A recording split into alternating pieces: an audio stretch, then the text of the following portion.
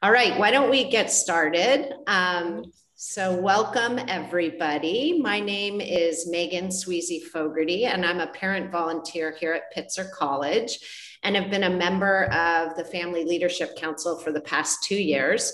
And just as a reminder, tomorrow at 10 o'clock, we have an open meeting of the Family Leadership Council. So please join us to learn more about how families really help Pitzer thrive. But this morning, it's my pleasure to start this session and introduce our speaker, Professor Sarah Gilman. And it's always such a joy in Family Weekend to have these very intimate um, opportunities to connect with some of our faculty. Sarah is the Associate Professor of Biology at Keck Science uh, Department. She has been with the college since you just said 2007, but it says 2016 here, but I'm going to go with 2007. uh, she received her PhD uh, population biology from University of California, Davis, and her recent courses, uh, really a dynamic, dynamic spread here, the living sea, marine ecology, introductory biology, biogeography, applied biostatistics, contesting science, and science in the public imagination. So we definitely see these Pitzer values in, in the way you teach. So thank you for joining us for this special session titled Predicting Vulnerability to Climate Change in Coastal Marine Species. And now I'll turn it over and welcome Professor Sarah Gilman. So take it away, Sarah. Thank you. Um, one of the other things I'll add, thank you for that generous introduction. Um, one of the other things I'll add to my bio is for the past couple of years, I've also been the director of the first year seminar program. Um, so those last two courses that Megan mentioned, um, contesting science and science in the public interest were actually freshman seminar courses, um, which is one of the really fun things for me about being at Pitzer because I get to teach not just the traditional science courses, but also explore with students how science um, interact, how people interact with science in their daily lives. Um, so I'm going to switch over and share slides. Uh, let's see, and start my talk. And I think, where did all my things go? Okay, so I had kind of planned, so, okay, let's see. So there's the title of my talk, Predicting Vulnerability to Climate Change. I'm a marine ecologist by, by training, so my background um, is uh, in marine organisms, and most recently I've been studying how climate change and temperature changes affect species in these communities. Um, and if my slides will advance, there we go. Oh, they got formatting got a little messed up. Um, so I actually was going to start with a quiz for the parents here today or the family members here today because um, this, uh, this slide summarizes a recent report from the Yale Project on Climate Change Communication, um, which shows that, that only 8% of Americans have, an, have a knowledge equivalent to an A or a B um, in terms of uh, climate change, and thus many Americans um, need a better understanding in order to be informed citizens. Um, so I thought I, we could compare how you guys, um, uh, your knowledge of climate change with the, with the uh, people who were surveyed in this survey. Um, and I was gonna set up polls, but I think we're a small enough group, I can actually have you guys shout out your answers. So let's start with what I hope is an easier question um, or an easy on the easy end of the spectrum. So which of these comes closer to your own view? A, most scientists think global warming is happening. B, most think global warming is not happening. C, there's a lot of disagreement about scientists, or D, don't know enough to say. So feel a. free to unmute yourself and just A. A. A, yes. so you guys are right. And this was one of the few areas where uh, where the people in this who were surveyed actually did well and they got the right answer too. Most scientists do think global warming is happening. Um, and as an example, um, here's just one review. Uh, this is from a 2007 study by the Intergovernmental Panel on Climate Change, which looked at 29,436 different published papers on some aspect of climate change, physical or biological changes, 90% of which were consistent with patterns of warming. Um, so some examples of that are the date at which snow, melts, snow melts occurs, whether glaciers are growing or shrinking, when do trees bud out and bloom, those kinds of things are all happening earlier than they were 20 or 30 years ago. Um, let's see, for those of you who don't know how many, how many of you, I, this is where I usually ask my students, how many of you have heard of the IPCC before?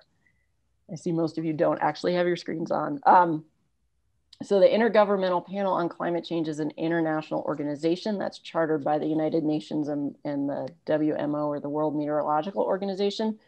Um, back in 2007, when Al Gore won his Nobel Prize for his work on climate change, he actually technically only won half a Nobel Prize and the other half went to this organization. Mm. Um, so they, this is a group of scientists and other researchers who whose primary purpose is to, st- or who are chartered with studying the state of knowledge on climate change. So they don't actually do research directly, but they monitor what is known. Um, and just really quick for those of you who are um, who haven't seen this before, how I want to walk through the mechanism of how climate is, climate is warming, um, and that's the greenhouse effect. Um, so basically, most of the heat on the Earth comes from the sun, if I can get this to work for me. Yeah, there we go. Oops, go back one. In terms of light that goes, um, goes through the atmosphere, hits the Earth's surface, warms up the surface of the Earth the same way as if you go stand out in the sun on a sunny day, you can feel the surface of your body warming up. When that happens, your body starts to actually radiate heat back toward, back into the atmosphere, into the air around you. So does the surface of the Earth. Um, so that heat Ooh, slides are not cooperating with me. That heat goes back out. Um, and then greenhouse gases, things like carbon dioxide in the atmosphere, actually capture some of that heat. So those gases are permeable to light, to the energy when it comes in at light, but they hold onto it as heat and radiate it back down. And the reason it's called the greenhouse effect is because it works exactly the same way as the glass panes in a, in a greenhouse or a solarium where they let the light through, but, but once that light heats up what's inside the greenhouse um, they hold that heat in. That is the basic idea. Um, so this was gonna be my next question, but the, it looks like when I transferred these to my iPad, the formatting got all messed up. So I'm just gonna tell you where we're going and you guys won't have to be pulled. Um, most Americans do not know this, but in the, in the mid 19th century, there were about 290 parts per million um, of carbon dioxide in the atmosphere. And thanks to the Industrial Revolution, there's now 390. I think this slide is a little old. We're actually over 390 parts per million. So the amount of carbon dioxide is going up. Um, we know from historical data, from geological data, this is, um, this is uh, data collected from ice bubbles trapped in, um, in, in glaciers in, I think this one's from Antarctica, that there's a general correlation between the amount of uh, carbon dioxide in the atmosphere and the temperature of, of the earth. Um, and I want to point out that correlation itself doesn't always imply causation. My favorite counterexample of this is um, somebody put this up on the internet uh, on a website you can find um, who's, who's arguing not seriously that climate change is caused by a decline in the number of pirates because as the number of pirates has gone down over time, the global temperature of the earth has gone up. In the case of carbon dioxide in the atmosphere, we have an understanding of the physics and the chemistry of what those molecules are actually doing up in the atmosphere and how that is changing the Earth's climate. Um, a lot of that understanding comes from what are called global climate models or global circulation models, um, which are these giant computer models um, that are designed to simulate the climate of the Earth and all of the interactions between the Earth's and the ocean and the atmospheres and the biological organisms living on it. Um, so this little graphic um, is from NCAR, the National Center for Atmospherics Research in, um, in Boulder, Colorado, which is one of the groups that does this kind of modeling. There's about a dozen or so different groups around the world, um, a couple in the US, one in the UK, one in Germany, Japan. I can't remember where the rest are. Um, so it's a very detailed model of the physics of the climate, the physics and chemistry of the climate, or mathematical model. Um, it's so complex that, I don't know if you guys can see this here, but it requires about 3 trillion computer calculations to simulate a single day of global climate. Um, and then these models are tested by comparing them to each other and comparing their ability to predict past climate so that we have a good sense of, of um, so that so that we, if they can predict the past accurately, then we have a good, we have more confidence in their ability to predict the future. But in terms of predicting um, the future of climate change and how much and where and when climate is going to change, the physics and the chemistry, the physical side of it is really only half the story. And the other half the story is, is, is the people, the decisions we made, not just as individuals, but sort of on political and international levels. Um, so one of the things I always like to stress to my students, and one of the things I think Pitzer students are really good at, um, are really poised to be these kind of people who are poised at kind of the interface between understanding the science and understanding how human systems, sociology, anthropology, economics, how those things affect the science. Um, and that's really the hardest part. In some ways, that those three trillion computer calculations a day are easy, but understanding how quickly new technologies are going to arise, how quickly countries are going to share technologies, those kinds of things are going to have a big effect on how quickly we can control uh, greenhouse gas emissions and limit um, warming temperatures. And that requires understanding not just science, but social science. Okay, so next question. We can just do a show of hands or a shout out. If we were to stop burning fossil fuels today, um, global warming would stop almost immediately. True or false? How many of you say true? False. False. false. Good. Okay. Yes. In fact, um, uh, let's see. I think there's another bit to this slide, but it's not coming up for me. There we go. Carbon dioxide stays in the atmosphere for hundreds to thousands of years. So the way I think of this is that the carbon dioxide that came out of the tailpipe of my parents' car when they drove me to school in the 70s is still up there in the atmosphere, right? And it's being added to um, by the emissions that I make when I drive to the grocery store. Um, so, so uh, and here's, um, this is from a more recent IPCC report that I'll walk you through this. Uh, um, the black line here is the current amount of, or is the global temperature over the past 100 years or so from 1900 to 2000. This yellow line here, or this orangey yellow line here is the amount of warming we would expect to see if we shut off, if we had shut off all carbon dioxide and greenhouse gas emissions in the year 2000, you would still get about a half a degree of warming over what the temperature was in the year 2000. And that's because of that carbon dioxide hanging around in the atmosphere for hundreds of years or more. These other um, lines on these figures are these different scenarios. So the IPCC, the Inter Intergovernmental Panel on Climate Change, puts out these different models or these different scenarios for how quickly um, greenhouse gas emissions will rise in the atmosphere. And then those scenarios get put into those the different global circulation models um, to, to make predictions about possible ranges of climate change. And they use a range of scenarios that again reflect that range of different, um, predicting different human activities, right? So how quickly are we gonna be able to slow emissions and how much are different countries gonna cooperate to do that? So the, the, the, the ones labeled B here, which is blue here, are, are more optimistic views of how quickly we can control carbon dioxide emissions and the A's are more pessimistic. You see um, higher overall rates of warming. I think the A1F1 is if we just do nothing and just let um, um, uh, commission emissions uh, continue to rise uncontrolled. Is there a, a, question? Okay, I'm happy to answer questions if anybody wants to has has a question. Hi. Um, so you can see there's a range of different scenarios. Um, what I wanted to talk to you today, because I'm, I'm, a marine biologist by training, is the effects of climate change um, on the oceans. And I'll give you a few examples of that generally, and then I'll talk a little bit about the research I've been doing with students here in Southern California.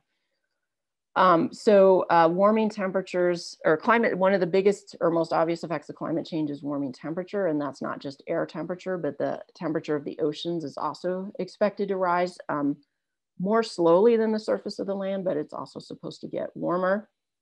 Um, we expect to see, sorry, the formatting is a little bit off on this, but we expect to see increases in sea level, and that's as glaciers and ice caps melt and put more water into the ocean. Um, that will cause sea level to rise. Um, we also expect to see changes in uh, pH, and I'll talk about that in a minute, but that's because as carbon dioxide goes into the atmosphere, it actually also is absorbed in the ocean and directly affects the pH of the ocean. Um, and then we also expect to see changes in the frequencies of storms and the sizes of waves hitting the shore. Um, so just to, here's an example. This is a slide I love to show my students. This is a picture I took from the New York Times a few years ago when the highest high tide of the year in Venice coincided with a big storm a day or two earlier. So there was a lot of extra water around. Um, and this, I believe, is a fairly, I've never been to Venice, but this is a, a fairly famous tourist site that was under several feet of water. So sea level rise is important because a, a huge percentage of human population lives near in coastal habitats, including Venice, but also Southern California, obviously. Um, and and um, there's great risk uh, for you know damage to uh, the physical structures and the livelihoods of the people who live in those areas. Um, the most immediate response to that is usually to build seawalls. So that's what you see here. This is a photo, I think, from South Carolina showing um, a, a, you know buildings in the background and then a park um, that you can see is, is already being defended by what's called riprap or rock, which is to keep uh, um, to keep the park from eroding away as the waves hit the shore. And you can imagine as sea level rises that the riprap or rock is gonna have to be built higher and higher. Um, and that's to, obviously to protect and minimize the economic damage of the sea level rise. So it's important to protect um, humans and people's livelihoods and homes. Um, but what it does is, um, if you see here, there's this small little stretch of mud flat or sand flat down here this is a particular habitat. Um, the organisms that live here um, are intertidal, which is the area that I work in. They like to be out of water for part of the day during low tide and underwater for part of the day during high tide. And as sea levels rise and the water gets higher and the walls get higher to keep the water away from the land, this habitat is going to be lost. It's going to be submerged um, 24 hours a day eventually. And the, the species that that live in that intertidal environment will be replaced by species that are adapted to the subtidal to being submerged even longer. Um, so that's sea level rise. Um, one of the scarier things is ocean acidification, um, which is cleverly labeled shell hell in this, in this newspaper article. Um, I think this is from the Manchester Guardian. But um, basically carbon dioxide moves into the, moves from the, diffuses from the atmosphere into the oceans um, where it actually reacts chemically with the water molecules. And that um, releases free hydrogen molecules, which changes the pH of the ocean. And um, that affects all the organisms living in the ocean because we are all adapt, our bodies are all adapted to work at certain pH levels and not others, but it's particularly problematic for things that make calcium carbonate skeletons. So that includes things like, like snails, um, uh, mussels, clams, and corals um, because as you change the pH, you make it energetically more costly to make those skeletons. So it becomes harder to make a living. Um, one of the organisms, one example of this, um, this is from a paper that came out in Nature where they exposed um, plankton, tiny microscopic creatures living in the ocean um, to different levels, to different pH levels to see what would happen. So these are three different species of, I think these are all photosynthetic plankton. Um, the one on the left here is called Emiliania huxleyi. It's actually really cool species. It forms these huge um, algal blooms every year in the North Seas that apparently you can actually see from space. So off the coast of Greenland, you'll see just miles and miles of bright green ocean. Um, and that's these little, essentially tiny swimming plants that are photosynthesizing like crazy and growing like crazy. They also happen to have, even though they're only one cell big, they happen to have a calcified skeleton. Um, and so when you grow them at a higher pH water, what happens is those skeletons, and these are examples from three different species, actually break down. And so they lose the ability to function. And these guys are very, very small, not as cute and charismatic as a whale, but very, very important in the food web and the food chain. If they disappear, if they can't adapt to these changes in pH, um, we may lose a lot of things that depend on these for food. Um, okay. Uh, so the area of the, or the effect of climate change that I'm most interested in is how temperatures, particular warming temperatures affect species overall distribution. So where they occur broadly. And there's a general prediction, obviously, that as you warm temperatures, um, that's gonna change uh, species distributions and move them to areas that are cooler and more close to the temperatures they were used to experiencing. So what you basically get um, is if you think about the distribution of a species across latitude, that the lower latitudes end of its distribution closer to the equator, you may see extinctions of populations as conditions get too warm. But then on that northern end, um, closer to the poles, um, for any particular species, it would expand into new areas um, as those conditions, which used to be too cold, are now tolerable. Um, so that works along any gradients. So latitude is the one I think about, but also along um, elevation. So as you move, say, from the valley floor up into the mountains, you'll see a change in species that are adapted to different temperatures. And the hope is that the species would just be able to move up into colder environments um, to minimize the negative effects of those warming temperatures. So that's the prediction. And we do see that happening for some species. So for example, this is um, a figure from a paper that came out looking at the latitude that fish species were caught um, in the, is the North Sea? Uh, in commercially caught, so European fish uh, were commercially caught um, off the coast of England. Sorry, I just noticed there's a lot, oh, okay, never mind. There are a few notes to me in the chat I didn't see before, but I saw now. Um, and what you can see is that in years with warmer water temperature, this is I think like 10 or 20 years of data, the average latitude at which uh, fishermen are catching these fish actually moves north. So the whole fish communities are shifting north in warm years and then in cool years, because climate change is not a continuous upward thing, but it'll go up, down, up, down, up, down a little bit. In those cooler years, they shift back down a little bit. Um, so that's one example of a species distribution changing. Um, but not all species are showing that. So what this, this cartoon is trying to show you is the range of different ways that a species distribution can respond to climate change. Um, so here's our, here's our range march or a range shift. In some cases, species might expand into, into higher latitude areas uh, without going extinct in the warmer parts of the range. In some cases, they might go extinct and not expand. In some cases, we might see changes in abundance without changes in range boundaries. So there's a whole range of patterns that we're actually seeing.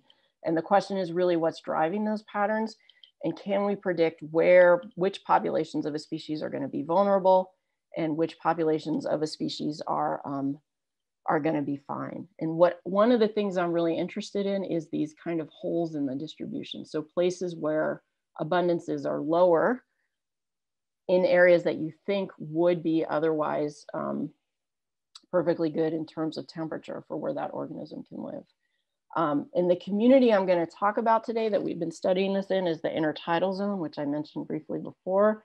Um, but this is the part of the shoreline. This is what most people think of as the beach, right? It's the part of the shore that is underwater at high tide and exposed to the air at low tide. And the communities I'm most interested in are these rocky shore communities, which is not probably where you would want to lay out your beach blanket, um, but are home to a diverse range of different organisms. And they have to deal with a lot of really harsh physiological stresses, right? They're getting dried out at low tide.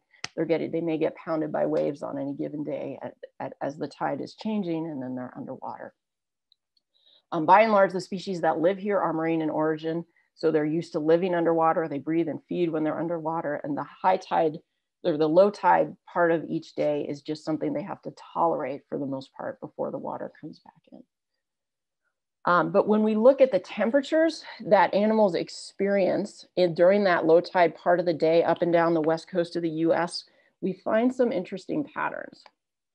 Um, so if you look here, so um, this is from a paper by Brian Helmuth, who actually was my postdoc advisor many years ago, um, showing, uh, let's see, annual maximum and average daily maximum temperatures for sites ranging from Washington, Oregon down to, down to central California.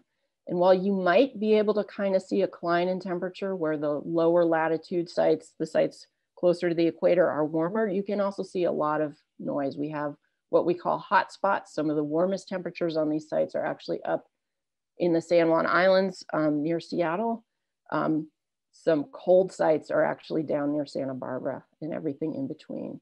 So my, my, my interest is whether those, this variation, these kind of hot and cold spots, um, how that affects uh, populations of different populations of a species ability to tolerate warming temperature. Because you might imagine these colder sites, if they're not that much, or if they're a lot colder than some of these other sites, the warming temperatures may not affect species as much. Um, and so they may be, persist in these locations where they would go extinct in these locations. So that's the kind of thing I'm interested in, how that spatial pattern of temperature affects this, the um, success of populations at different points up and down the coast. Um, the species that I work in is this intertidal, is an intertidal barnacle. Probably most of you don't spend a lot of your day thinking about barnacles. Um, I've come to love them, um, but basically they are crustaceans. They are related to things like crabs and shrimp. They start out as a larva that swims around in the water column for a couple weeks. You can see it kind of looks a little bit shrimp-like here.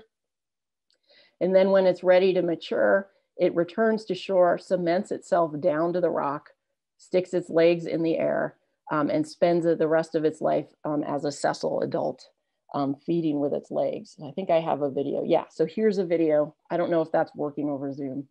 Um, I think the, the, the feeding appendages, they're called cirri. I, I find it fascinating just to, to stare at them. I think they're really beautiful, but then again, I'm a little weird, so.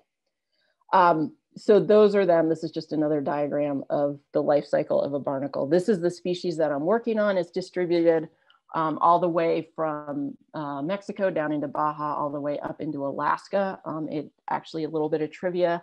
The, the species was actually named by Darwin because he was the first European um, to collect them on the voyage of the Beagle. He actually wrote a whole monograph on barnacle species or barnacle species and named a lot of the species we have on the West Coast. Okay, so there's one other piece in order to predict how that variation in temperature at different locations affects the success of the barnacle and its ability to tolerate warming. And that's what the how temperatures relate to the physiological tolerances of the barnacle themselves. And in physiology of ectotherms of species that don't control their own body temperature, so not like us, not birds and mammals, but pretty much any other animal, um, lizards, insects, barnacles, fish, where their body temperature is basically determined by the habitat they live in. When we look at how successful, uh, say, a population is at different temperatures, we, there is a stereotypical sort of what's called a thermal performance curve that's shown here. At very cold temperatures, most animals, most ectotherms do not do very well.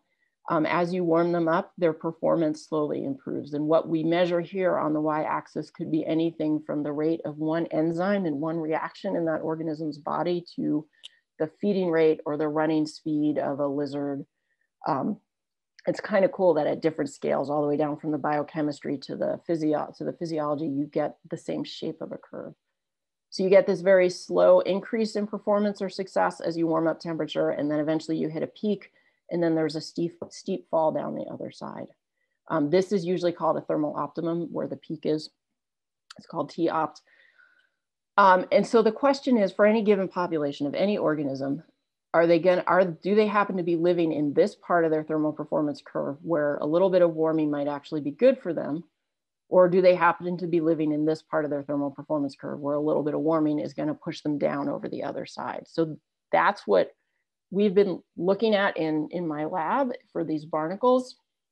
And we've been looking at that specifically at three different sites that show a range of different temperatures, um, uh, which I'll show you in a minute. So the three sites I'm gonna talk about today are Friday Harbor, which is up in the San Juan Islands. It's a little island between um, Seattle and uh, Vancouver Island, which is this big piece here. Um, Bodega Bay, which is a little bit north of San Francisco, um, on the California coast. And then our third population is from Long Beach, which is, which is down here near Claremont. Um, when you look at the temperatures of these three sites, if I can make the slide change, there we go. Um, and look at what these animals experience during low tide. And remember, I told you it was low tide where, they, where they're stressed, where they're getting um, hotter temperatures, where they can't feed or, or breathe, and they're just trying to, trying to get through the tide until the water comes back. Um, this Friday Harbor site is kind of unique for being really warm. It was the warmest site on that other figure I showed you guys. Um, so what you see is even though Friday Harbor is our northernmost site, the, the hottest temperatures it sees in the summer are actually much more similar to typical hot summer temperatures down here in Los Angeles or Long Beach. And both are much, much warmer than the Bodega Bay. Which is north of San Francisco, which is a much colder, foggier environment. So even when the tide is out, it's a pretty cold place to be in the summer.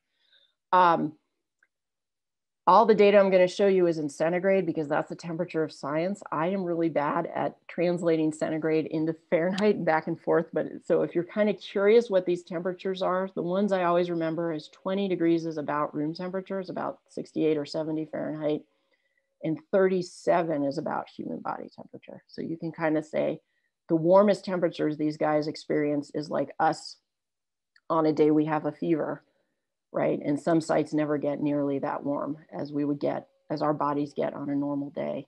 And again, this is at low tide when they're out in the air and being baked by the sun. At high tide, when they're under the water, my slide will change, they're actually much colder, right? So as nice as Friday Harbor is to hang out in in the summertime, I would never want to actually go swimming in the water there.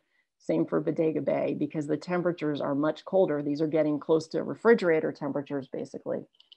Um, whereas it, down here in Southern California, once you get south of Santa Barbara, the temperatures are a lot warmer. So we have these three different sites, one which is consistently warm here in Southern California, one which is consistently cold, and then this Friday Harbor site, which is really interesting because it has the low tide conditions of Southern California, but the high tide temperatures um, of, of sites at higher latitudes.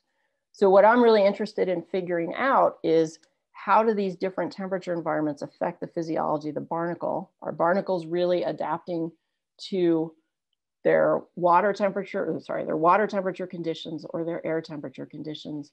And how much capacity do they have for tolerating warmer air temperatures if temperatures warm more? Um, so just to kind of show that graphically, what we're going to talk about is measuring the thermal performance curves of these three different populations. Um, and you can think of it as two different hypotheses. So because Bodega Bay is consistently colder than Long Beach than Southern California, we expect that thermal performance curve for barnacles from Bodega Bay to be much colder, right? Their peak temperatures, the temperature they do best at will be colder than the Southern California barnacles. Um, now, for Friday Harbor, if it's water temperature that drives the physiology of the animals, if they're adapting to being to the temperatures they experience when they're underwater, because that's when they're feeding and that's when they're really living their lives, then we would see the Friday Harbor curve being very similar to the Bodega Bay curve. Um, but the other hypothesis you can think of is that if the low tide conditions, if they have to adapt to those and be able to tolerate that, then you would see the Friday Harbor population's thermal performance curve um, come out closer to the Long Beach, the Southern California population. So that's what we set out to test in our lab. Um, and I just have a few data slides to, uh, before I show you the answer of that question, or a few method slides. Um, the way that we study barnacles so they're sessile as adults. So what we usually do is just hang plastic tiles off of docks like this, wait for larvae to settle on them. They'll settle on anything. I mean, the Navy spends millions of dollars a year trying to keep barnacles off their boats. Um, so just any random piece of plastic you hang off a dock, they'll settle on, and then you can bring them back into the lab.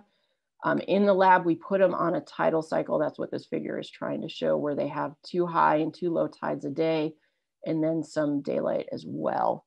Um, and I think we were simulating summer conditions, so they have more daylight each day than, than nighttime. Um, and then to do these experiments, we actually put them through a simulated high and low tide. So we start them off in our experimental chambers at high tide to get them kind of relaxed and comfortable. And then we remove the water for five hours, heat them to a different temperature, one of these temperatures, keep them there for the rest of the five hours, um, and then put them back into high tide conditions for six more hours. Throughout all of this, um, we are measuring how much oxygen they consume. So how much, which is essentially a me measure of how much energy they're using. And that's what we're gonna use to, to shape fit our thermal performance curves. Um, so here is uh, another just close-up view. These are our individual barnacles in their low tide chambers. You'll notice they have tiny little dots of paint on them. That's how we tell them apart. We give them a, a color marking. Um, here they are in our high tide chambers. You can see these black cables here. Those are the actual oxygen sensors that are measuring the oxygen inside these chambers. Um, uh, these are a couple of uh, students and a postdoc who did this work with me. Um, so with these crazy 12 hour experiments, which I think I'm never gonna do again, um, we were working in shifts. So some of us were coming in at six or seven in the morning to set up the experiment and get it going. And then when we switched over from high to tide to, or low tide to high tide, um, the other pair of us would come in and take over the rest of the experiment. Um, so Maddie here on the left graduated from Pitzer uh, a year or two ago. Juanita's a senior this year. And then this is Gordon Ober, who was a postdoctoral researcher in my lab who helped with this experiment. He's now a professor at Endicott College on the East Coast. So that's the setup. In terms of what happened, here's my slide. So here is the respiration data for, I'm gonna start with the Bodega Bay population in the middle.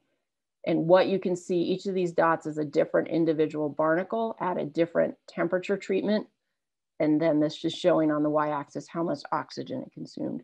And you can see sort of a general shape of a thermal performance curve. First of all, the data is noisy because every barnacle has its own opinion of what it should be doing when we put it in these chambers. But on average, they fit a thermal performance curve or just a, um, a quadratic curve with a peak around 23 and a half degrees C. Um, the southern, oops, wrong button. The Southern California population, you can see we actually didn't go warm enough to get to a peak temperature. So it's maintaining high performance all the way up to 38 degrees C, which was the warmest temperature that we used in this experiment. Um, and now the interesting thing is this Friday Harbor population, because it falls out with a performance curve much more closer to Bodega Bay. So they both peak around 28 degrees-ish, whereas the Long Beach, we couldn't even find the peak because it was still going warmer. Um, interestingly, the reason that we didn't use temperatures higher than 38 degrees is because the first population we did this experiment on, the Friday Harbor population, that um, was lethal. So, so they all died when we tried 40 degrees. But I wonder if we did that with the Long Beach, the Southern California barnacles, if we could actually get them up to much hotter temperatures without killing them. Um, so in terms of our original hypotheses, um, it's the one on the right here, the idea that water temperature drives their physiology. So what they can tolerate in air is determined by their local water temperatures and they seem to be, each population seems to be adapted to its local water temperatures. And that is gonna create kind of a problem for these Friday Harbor barnacles because they are adapted to the colder temperatures, but during summer low tides, they're experiencing the warmer temperatures, some of the warmest temperatures on the coast. So of these three populations, it's this Friday Harbor population that I'm most worried about losing the barnacles completely as temperatures warm. The other two populations, warming temperatures um, are still gonna be well within the range of what they can tolerate. Um, so those are the main points um, that I wanted to bring up. And um, I think I just have an acknowledgement slide. Um, one of the fun things about working at a place like a Claremont Colleges is the amazing number of, of talented students that you get to work with. And so the two that worked on this particular project uh, were Maddie and Juanita. Um, and then I've also been lucky enough to have um, a research grant that supported salary for two different postdoctoral researchers, Rhiannon Rognstad uh, first, and then Gordon Ober, who were also involved in um, this project and a lot of other projects. And then many, many other students who've worked over the years on different projects in my lab.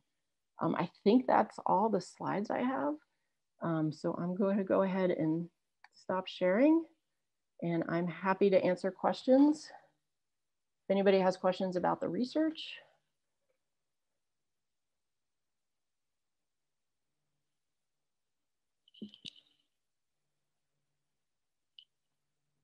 As I always say, my students, I, I can't possibly have explained it all clearly. you must have a question somewhere, Holly. I, I, do you also study methane or is that a totally different um, piece of uh, research? Yeah, so I don't I don't study methane directly. Methane is is is kind of a scarier greenhouse gas in a lot of ways because it warms the atmosphere a lot faster than carbon dioxide. Um, but that's not something that um, I work on directly.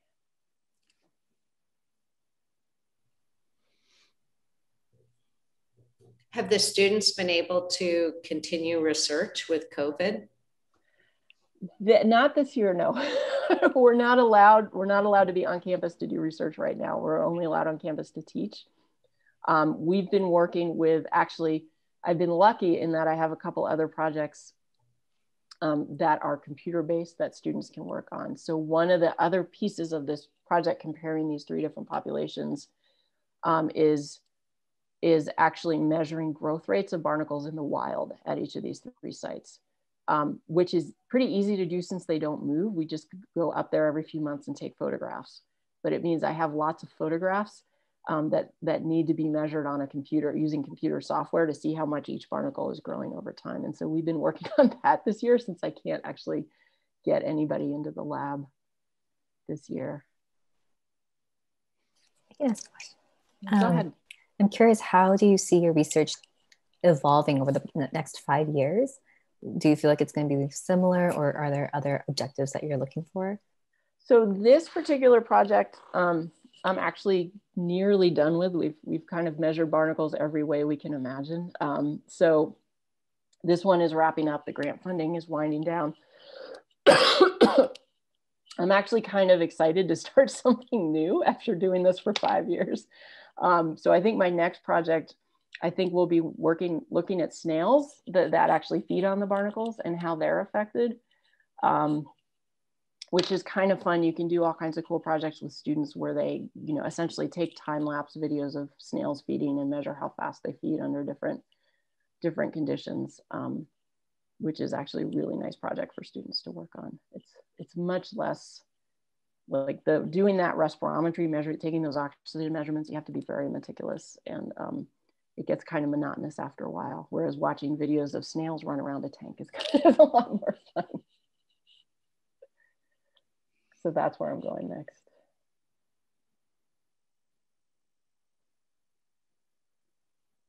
Other questions? Thank you guys for coming. Thank you. Yeah, thank you for doing this in your work. Really appreciate it. My brother, or sorry, my nephew actually lives at Bodega Bay. That's the UC Davis don't they have the lab there? Yeah. Yeah, that's how I started using that as a site. I, that's where I did my PhD work. Yeah. Yeah.